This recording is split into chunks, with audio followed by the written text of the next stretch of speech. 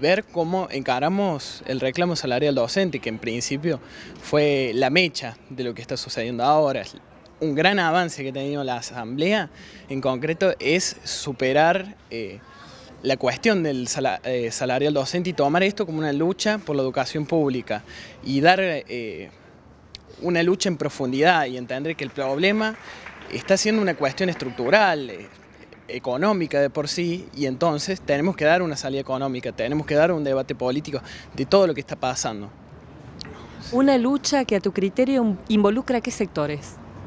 involucra principalmente a todo el estudiantado, la docencia, los no docentes y también promover muy, mucho, muy fuerte lo que es la unidad docente, eh, obrero, docente y estudiantil. Los docentes son obreros también por eh, inercia.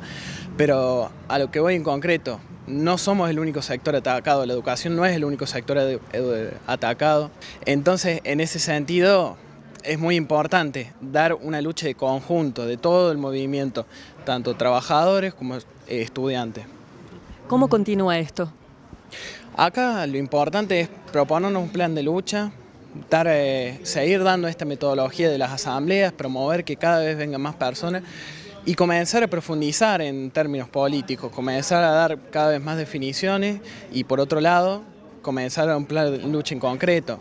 Vamos por corte de ruta, damos por un paro nacional por tiempo indeterminado, que es fundamental. La CGT los otros días anunció un paro para el 25, que va a ser un paro matero, dominguero, no, no propone nada. Entonces vamos por una gran movilización también y llamemos una Asamblea Nacional de los Trabajadores para organizarnos en conjunto, tanto estudiantes, trabajadores, todo el movimiento obrero, para salir de esta crisis a fondo.